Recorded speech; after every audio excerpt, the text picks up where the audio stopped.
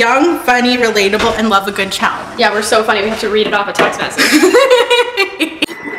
Hello, Amazing Race Canada. My name is Claire Fennuk and I'm from Timmins, Ontario. Bonjour, je m'appelle Olivia Poulin and I'm from Niagara Falls, Ontario. We're 22 years old, just graduated from university, and we're young, hungry, and ready to race. So right now it's the perfect time for us to do the race. We're graduating in 48 hours, people. Oh yeah, true. So we're the perfect pair because where I lack, she makes up, and where she lacks, I make up.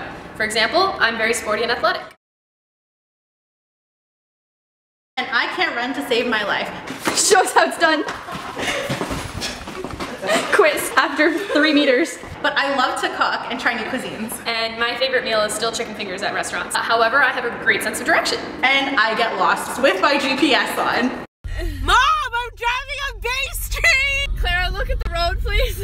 hey. I'm really good at making decisions. And I'm not. Together, we'll Make figure the it out. perfect pair. We'll, we'll make it happen. We'll figure it out. We'll make it happen. Don't worry. Yeah, it's fine. It'll be fine. Everything's fine. So Clara and I have technically been going to school together for the last four years, but we didn't know each other very well until we had a group project together. This is Probably how I sat in class, though, realistically. I know. We were like this. We bonded over the end, the end, the end of her relationship. She told me she broke up with her boyfriend. We've been friends ever since. So we like to just do fun stuff together mostly. We'll have karaoke night. There's not a star in heaven that we can reach. We'll go dancing. Um, we'll go hiking, just anything to have a good time.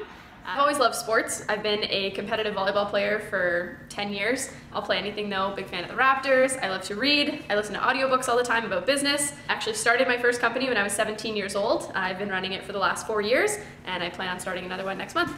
She's a serial entrepreneur. You could say that.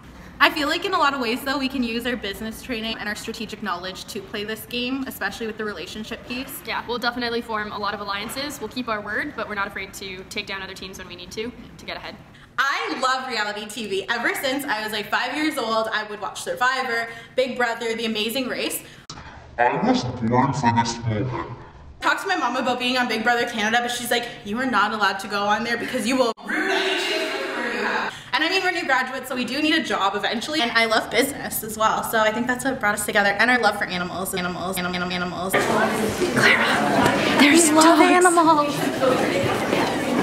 We hope to see you. We can't wait to race around the world. Them!